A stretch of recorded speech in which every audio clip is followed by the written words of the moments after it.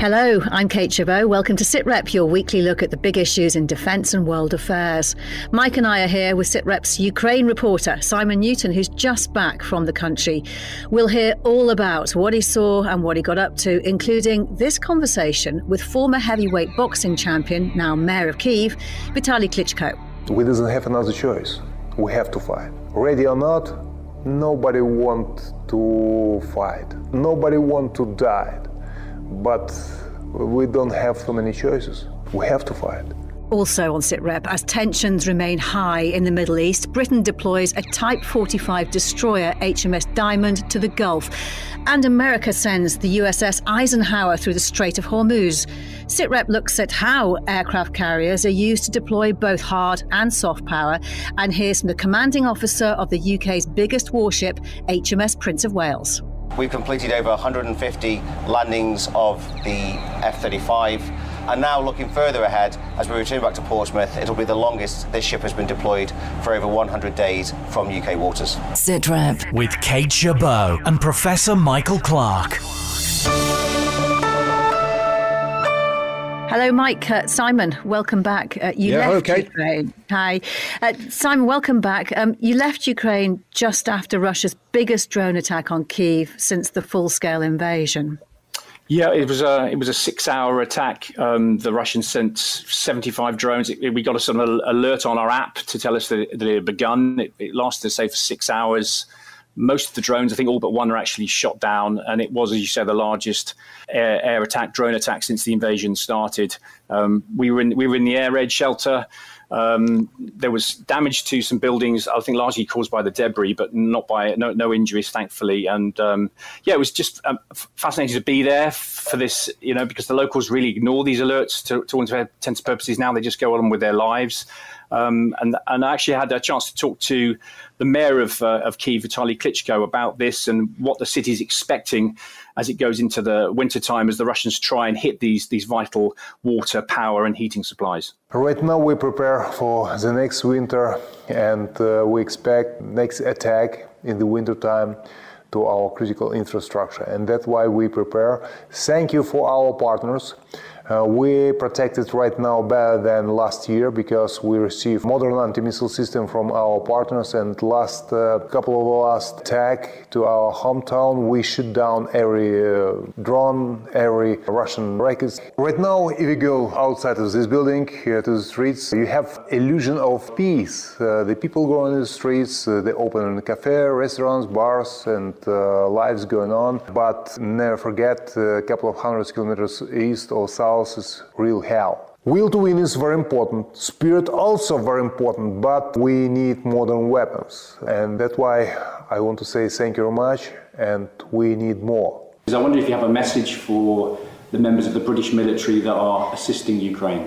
We very appreciate for our partners, especially for Great Britain. Great Britain make huge support, deliver defensive weapons, uh, anti-missile system, uh, make training for our soldiers, uh, uh, to help to us with humanitarian help, uh, financial support. It's very, very important, life important, critical important for us. And that's why I, I will be never tired to tell thousand times, thank you. Do you think Ukraine is prepared for a long war? Because it looks as if it will be a long war. Ready to long fight? We doesn't have another choice. We have to fight. Ready or not, nobody want to fight. No, nobody want to die. But we doesn't have. We don't have uh, so many choices. We have to fight. We have to defend the future of our children, free future, democratic future democratic future of our country. And uh, that's why uh, we hope. I'm more than sure right now for the new year, it's uh, our tradition to make wishes for the next year. I'm more than sure that every Ukrainian have just one most important wishes for next year. The peace coming back. We hope the next year peace coming back to our homeland a message of defiance there from Mayor mm. Klitschko, Simon. Um, but how widespread is that view, do you find? Well, we were obviously we were in Kiev, so we were meeting people who stayed behind, which obviously shapes their, their view of things. I think it's three million or so people in the city at the moment. Uh, it went down to a million when the invasion happened, and you know many of them have come back. And I think there's also 400,000 or so refugees living there. So the ones we spoke to definitely were defiant. Um, but of course, that, that isn't the case with everyone. There are there are reports that I think about 20,000 men have actually fled since the start of the war, many to Moldova. And, you, and I heard stories when talking to Ukrainians about how you can buy your way out of the draft. You know, if you have enough mm-hmm. If you can get this white chit, as they call it, to get yourself out of uh, being called up. So it is an issue in society. Certainly, where we were, there was defiance, but there there is a split in Ukrainian society. I think that you do hear about between those who've left and those who've stayed. Interesting. Um, Mike, um, what do we know about Russia's missile stocks and why they're using so many of these Iranian made Shahed drones, that the ones that we saw in that massive onslaught on Kiev? Yes, they, they've been conserving their missile stocks, particularly the ballistic missiles, and we think there's a, a good 1,500 or so that they've stockpiled immediately. And they're using the Shahed drones, these Iranian Shahed 136 drones, in big attacks, as Simon obviously witnessed, you know, 70 odd uh, at a time, in order, we think, to exhaust the defensive missiles that the Ukrainians have got. So they're using up their ammunition because they're having to use, you know, more expensive missile anti aircraft missiles against pretty cheap drones. And so these Shaheds, I mean, the Russians know that they don't really get through. Most of them get shot down, but they're just using up uh, Ukrainian defensive stocks and the the big attacks will start now. I mean, they've already really begun, but the Russians are make are going to make a big effort this winter to really attack the infrastructure of Ukraine much more directly than they did last year. That's the general assessment. And Simon, we're going to hear more later about the civilians in Ukraine who are being uh-huh. involved in drone testing. But you did discuss the issue of weapon production with a Ukrainian minister.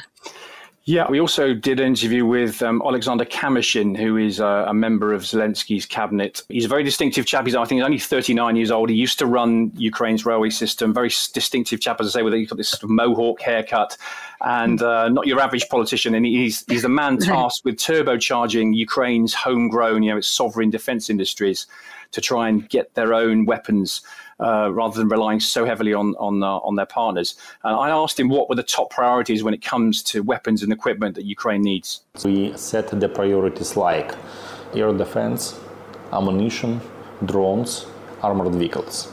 That's say top four priorities. But finally, indeed, we can't say that we don't need breaching equipment we can't say that we don't need missiles. We can't say that we don't need all the rest of the long list of weapon and ammunition. So finally, definitely, we're building the capacity for the whole range of ammunition and weapons.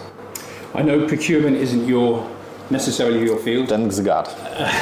but um, just in a general sense, the UK contribution to your war effort with Storm Shadow and NLAW and everything. I mean, how big and how grateful is Ukraine being for that help?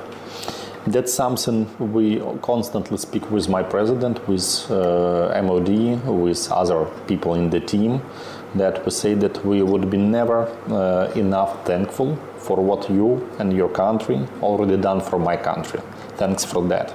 And indeed, we will stand in this war for 637 days only because you are with us and other countries of the free world. Um, just after a sense of how much ammunition you are using, you know, your military is getting through. I've seen different figures. I think the Americans said at one point it was 90,000 155s a month.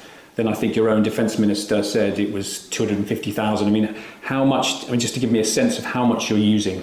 The sense would be the following the whole world's, the free world production capability is not enough that's why this war would be always about warehouses as well.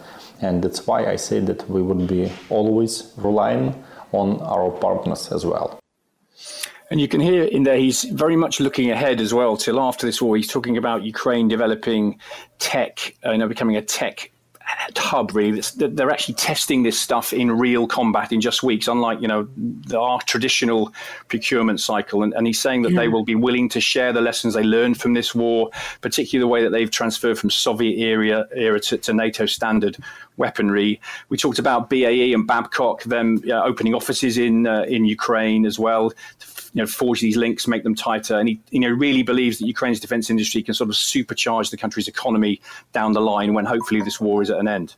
It'll be really interesting to watch this developing. Mike, the, the UK government has given Ukraine £4.6 billion in military aid so far and trained more than 50,000 soldiers as part of Operation Orbital.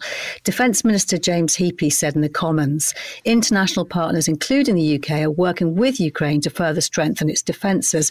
What further expertise might they offer as the war changes and as lessons are learned about combat? Well, um, Britain has sent quite a lot of equipment uh, to Ukraine, and to be honest, I don't think there's that much more equipment that we can send of, of, real use to Ukraine. But my goodness, there's quite a lot of expertise. We're providing, you know, training, uh, basic infantry training, but there's much more specialised expertise, particularly over combined arms uh, manoeuvre warfare. That sort of expertise is something that we really could uh, still make a big contribution towards uh, Ukraine's war effort with. Uh, and Simon, as promised, we've heard a lot on SITREP about the importance of drone warfare to the conflict, but how and where are potential new models tested in Ukraine? Yeah, so this was also really interesting because you don't really think about the testing side; you just think about them using them. Know, we've all seen those videos on you know on, online of them hitting tanks with uh, with drones. They actually have a a load of voluntary organisations that test these drones before they're flown because they're obviously different. Um, we were we were taken to a field uh, away from Kiev. It was minus five where we where we arrived. When we arrived, it was snowing, and uh, you know, there's a whole field of people testing these drones. This is this is what it sounded like. So you can hear there's a, there's a, there was basically a group of engineers. These were these were volunteers really. Um, they worked for a, a voluntary organisation, and what they were saying that you know some of the drones that they're receiving are better made than others. Some of them are made in you know much better sort of small factories than others. Uh, they're very worried, for instance, that some of them the the actual munition on the bottom of them has fallen off previously when when these drone pilots were taking off, and a number have actually been killed. So that's one of the things they definitely test before they uh, they send them to the front line. This was uh, Maxim, who is Maxim, sorry, who is the engineer in charge. Each drone will must be tested okay. on a long range also with payload, also with uh, all flight capabilities. Not only test, we also like producing these drones, uh, but testing of the drone is most important part. You've you've seen the drones develop throughout yeah. this war in terms of it's an accelerator of the technology, and you're fighting a technology war with the Russian army too, because they also develop drones as well. Yes, actually, to be honest, we are starting to losing with manufacturing of, uh, in this war. We produced smaller and small number if you compare with Russian. Uh, Russian produce thousands and thousands per week of every types of the drones. Also, the border are open with China. The border are open. You can easily to buy all components what you really need. Simon, what did he have to say about the different types of drones they're testing? So there was there was large drones, there was fixed wing drones there, quadcopters, all, all being tested. Some able to carry um, up to up to 20 kilograms. I think the first one you heard there is actually a very large quadcopter that they use. It, it's only only flies at night because it is so big and so large, and it's got this very powerful thermal camera on it. Um, and I asked Maxim about the impact he and his engineers feel personally that they're having on this war. For engineers, we all understand that our rifles is our brain, and we understand how to win in this war with our brains. And just finally, tell me about your volunteers here. These are these are young guys who maybe have done engineering at university and they're using those skills to. A lot, a lot of our guys are volunteers. A lot of our guys are actually students. Simon, really interesting to hear that. Um, um, I know you're going to be going back as soon as you can. Thank you so much for, for giving us that little update on, on your trip Pleasure. there. News, discussions, and analysis. This is SITREP. Now, the news that the USS Eisenhower has sailed along with her carrier group through the Strait of Hormuz into the Gulf as tensions remain high in the Middle East, and that the UK is to send HMS Diamond, a Type 45 destroyer, to join the frigate HMS Lancaster there, underline how key navies are to projecting both soft and hard power. Britain's biggest warship, HMS Prince of Wales, has been deployed since September off the eastern seaboard of the United States, training alongside US forces and pushing the limits of carrier operations with drones and aircraft trials. They include more than 150 deck landings of F 35B stealth fighters. F 35s have also reached what's been dubbed beast mode, the heaviest takeoff weight for a fully loaded fighter from a Queen Elizabeth class carrier. The ship will return to the UK by Christmas after taking part in Westlant 23. Captain Richard Hewitt, commanding officer of HMS Prince of Wales, says there have been several highlights of the deployment so far. Well, deploying in any Royal Naval warship is, is a very special moment and is rewarding both myself and the ship's company.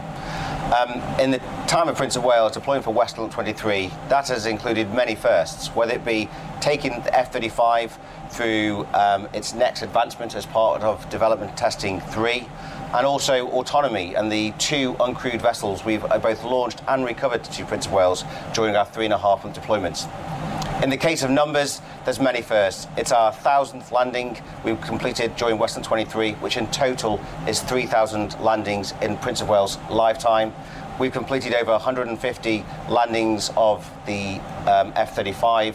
Uh, and now looking further ahead, as we return back to Portsmouth, it'll be the longest this ship has been deployed for over 100 days from UK waters. The deployment had been delayed after the carrier went into dry dock while repairs were carried out after it broke down near the Isle of Wight last year. Captain Hewitt again. So Prince of Wales remained in dry dock for just under eight months, which actually, relative to the life of the ship, which this ship will be in commission for 50 years, is a relatively short period. The time spent there was to correct a mechanical defect, but the time was not wasted. Eight months was also spent correcting and rectifying that defect, but also enhancing Prince of Wales' capability for Westlant 23, and more importantly, when she assumes the fleet flagship role and the very high readiness carrier for the Royal Navy. Well, Commodore Roger Readwin is the UK Naval Attache to the USA. He sat down earlier with our reporter James Hurst. Visits like and deployments like HMS Prince of Wales bring massive opportunity to the bilateral relationship between our two countries, and in particular, United States Navy, US Marine Corps, Royal Navy, and with the Royal Marines. And of course, deployments like this do take a lot of energy, both at the strategic level, but it's really at the activity level where we're seeing a lot of experimental trials and, and training and development. And I think that's a success here that the ship has delivered over the last three months. We'll talk more about that strategic level. But yeah, let's talk about what has been achieved because, as you say, they've been pushing the envelope a bit. So HMS Prince of Wales uh, was, well, it has been here conducting the development trials for the F-35B. This really is to take the aircraft, a fifth generation aircraft with a fifth generation carrier, and optimize that capability as we work this ship up ultimately for a head mark of Carrier Strike Group deployment 2025. And in doing so, they've, they've taken these really niche uh, F-35 airframes on the east coast of the US, which have all sorts of instruments in, embedded in them to work out, you know, where they can exploit the envelope going ahead. And really, it's all about lethality. It's about how do we take this capability and exploit it on the platform. And for example, uh, there was a thing you probably read in the press recently called the beast mode. What does that mean? Well, it means taking the aircraft off with maximum weights of weapons, fuel, in order to really exploit the capability once it's airborne. So, really, it's been an integration uh, trials, but also really taking our F 35B to full operational capability. And some of that you can only do with bespoke trials. This is not easy stuff. The team on board make it look really easy. But of course, it's really hard work to integrate this capability and exploit it and, and operate it to the edge of its envelope. So, has that been making use of American F 35s to push further what we might be able to do with our own in the future? So it's a collaborative program, and the, the, the, work with the US pilots, Royal Navy pilots, is all about this uh, interoperability leading to interchangeability between our navies. And of course, what we're trying to do is ensure that when our ships, and in this case, the Queen Elizabeth class carriers, are deployed, say, in the Indo Pacific in a few years' time, you can integrate both US Marine Corps uh, F 35Bs alongside the UK variants as well. And so it's about the interchangeability journey. And that's why driving these trials, the development trials, are really important because we've, we've been doing some stuff uniquely for the first time. One example is this short roll on vertical landing. And that really is, again, about the, the aircraft coming back, doing a, a niche landing capability onto the ship, which ultimately in the day is going to is going to expand its capability and lethality. So it's it's a it's a two-way process where we've been where the ship has been experimenting, but also due to its location, we've also been supporting the U.S. Uh, Marine Corps 24th Marine Expeditionary Unit with some of their generation capabilities, with some of their units landing on the ship, which goes back to this incredible relationship between the UK and US under the carrier strike statement of intent, which was refreshed and re-signed out by the ministers, Secretary Austin and uh, the former Secretary of State Wallace in the spring of this year. Does this improve our capability to operate our aircraft carriers on our own, or is it, is it purely about improving our capability while working alongside the Americans? I think the, the honest answer is both. It allows us to exploit and, and take our sovereign capability to that next level. As I said earlier, it's about optimizing this fifth generation aircraft with this fifth generation carrier. And of course, it's, it's just not the aircraft on the deck and the integration with the US, it's also the ship's company. All those different moving parts of people, equipment, the training, the sustainability, which fuses this capability into obviously the pointy end. And it's often we get distracted just thinking about the aircraft, but having visited HMS Prince of Wales only last week and recently with uh, the First Sea Lord, the Chief of Naval Operations, and the Commandant US Marine Corps, it's an incredible machine, incredible ship, but it's the people which bring that asymmetric advantage together. So the answer is yes, but it's also enabled by uh, an incredibly motivated uh, bunch of people, sailors, and aviators. The message that some people choose to take from, from that stress on interoperability is that we're not capable of a, achieving significant carrier strike power on our own. So I think it's worth going back to December 2014. And why do I go back to December 2014? Because this is where the delivery of combined sea power was conceived. Then First Sea Lord and then Chief of Naval Operations realized that in order to be a uh, credible partners to each other. We need to ensure there's a load bearing framework which fuses our outputs together. And the strength of our relationship is founded on this load bearing framework where our outputs and are complementary. We're not dependent, it's complementary. How much impact does a, a visit like this, a, a deployment like this of the Prince of Wales, have for our wider defence relationship? with the United States? I think it's a great question because we can cover from the soft power right up to the hard power, and I've probably been focusing a lot on the hard power, but the soft power, the convening power of a Royal Navy warship with a white ensign flying has has an amazing, as I said, convening power. We saw already in in in the US, the, the aircraft carrier hosted the ambassador, British ambassador, Dame Karen Pierce, where she hosted a, a, a reception. Of course, when you're bringing your NATO friends, your American audience, it's a, an opportunity for um, for people to come and, and have a conversation about the 21st century challenges. So the soft power from this incredible ship, uh, the men and women on board are amazing ambassadors, not just for the Royal Navy, but for the United Kingdom.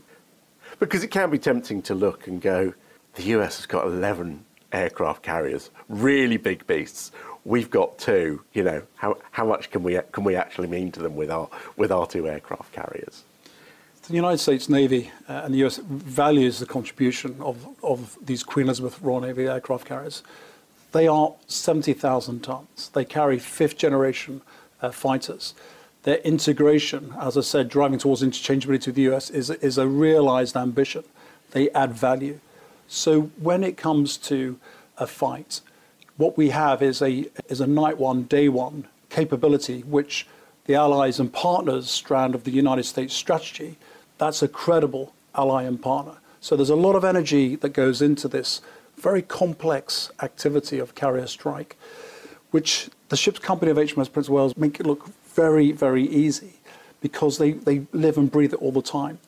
But this is not easy. This is, this is degree level integration. You know, they're optimizing a, fifth generation aircraft carrier with a fifth generation aircraft, with arguably a fifth generation ship's company, in order to make sure that we continue to be a trusted and credible ally and partner into the 21st century, which we are doing. Commodore Roger Readwin speaking to James Hurst there. Uh, Mike, let's start with the Prince of Wales. She's leading a carrier strike group to the Indo Pacific in 2025. How far off is she from becoming fully operational?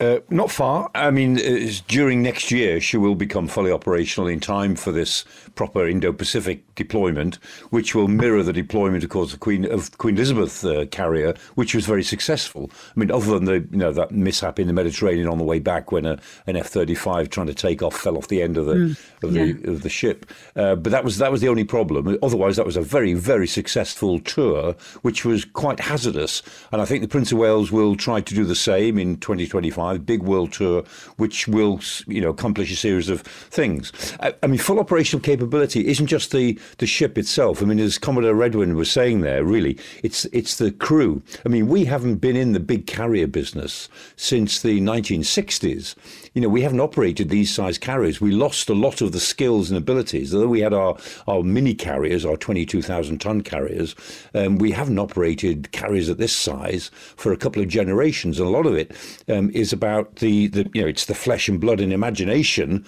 that you put into it. It's not just the the steel and the technology. And it's interesting, you know, that uh, Commodore Readwin then he said 70,000 ton carriers. Do you know they were advertised as 65,000 ton carriers? They oh. were designed as 65,000 tons, and I have it on very good authority that when they launched the Queen Elizabeth, only when you get them in the water can you really weigh them. That's right. only in the water with the displacement. Then you find out oh, it turns out they were 5,000 tons over. So both of oh, them dear. are 70,000 ton carriers. We were only supposed to have 65,000 tons, but we got 70,000, which is good because the you know the more yeah. tonnage, the more the more you can get on it, as it were, the more you can have. So there it is. It will be fully operational next year. That's as much about the crew as the ship itself, and I think it'll probably go on a pretty successful tour in 2025. If if by that time we don't need it to do some fighting. For now, the Americans have sent their carrier strike group, led by USS Eisenhower, or Ike as she's known, through the Strait of Hormuz into the Gulf. And now Britain is sending HMS Diamond, a Type 45 destroyer, there to join the frigate HMS Lancaster. There have been missiles, though, Mike, fired from Houthi rebels in Yemen towards US ships in the region after attempted hijackings of civilian vessels. How tricky or otherwise is it for a carrier to operate in, in these relatively narrow straits? Where tensions are high. Yeah, and they're getting higher all the time. The Eisenhower, with its carrier battle group, has gone through the Strait of Hormuz, to my surprise, I have to say, um, mm. because there's not a whole lot of sea room once you get west of the Strait of Hormuz. I mean, there are 500 ships a day coming in and out of the straits. And so there's a sort of an up lane and a down lane because the depth isn't great either. So the, the, the depth that, that will take big ships of this size uh, is not so wide. And I mean, certainly you can, you know, you move in and out. But I mean, if a carrier had to maneuver at high speed, quickly, and there's not a whole lot of sea room to do it in. So, you know, putting the Eisenhower where it is, right in the Gulf, is a clear message to Tehran that we're not mm. frightened of you. And it, the same goes for the Red Sea. As you say, there have been um, uh, missile launches um, from Houthi rebels in Yemen, which have been intercepted uh, by the. Uh, I see the Carney again was in action, the USS Carney, which is part of the uh, the Ford carrier battle group, which is up in the Mediterranean, but the Carney's in the Red Sea. The US has also got the Bataan, which is a helicopter carrier in the Red Sea. And the Mason, the USS Mason, was involved in first of all, arresting five Somali pirates who boarded the, the Central Park, which is a chemical carrier, and they, they arrested these pirates. And then a couple of hours later, the Houthis fired a couple of missiles at them. Um, mm. So there's a lot of tension. I mean, we're all focused on Gaza, of course, but as part of the Gaza crisis, there's rising tension in the Gulf and the Red Sea, mainly of a of a naval character. And here we are with the, with the United States ships shooting down missiles in defense of Israel. You know, and yeah. that is not lost on Tehran or on other or capitals in the Arab world. I mean, the United States is getting pulled into this. It's trying to be careful. It's not responding to so many attacks on its forces that are happening on an almost daily basis. But increasingly, you know, tension in the Gulf is rising, and you know, HMS Diamond will, I think, will find itself having quite a role to play. I mean, interestingly, it's a guided missile carrier. It's there for air defence. It might find itself doing a certain amount of it. So that that that is the reason for its deployment, is it? Is that the thinking behind it? I think it is. Yes, I mean it's, it's partly to, to bolster Lancaster, which is there as a frigate, but I mean the, you know the air battle over the southern part of, of, Arabia, if you like, the Arabian Gulf and the bottom of the Red Sea. That's becoming more intensive. And I think that Diamond may find itself, as it were, involved in that. But certainly it's a, it's a symbol of the fact that we are taking this seriously as well and that we want to be with our United States allies. If they need to do it, then we need to do it. I think that's the message. Mike, great to speak to you. Thank you for your time today. And thanks to all of our guests. That is it for now. Professor Michael Clarke and I will be back with another SITREP next Thursday. For now, though, from me, Kate Gerbeau, thank you for listening. Bye bye.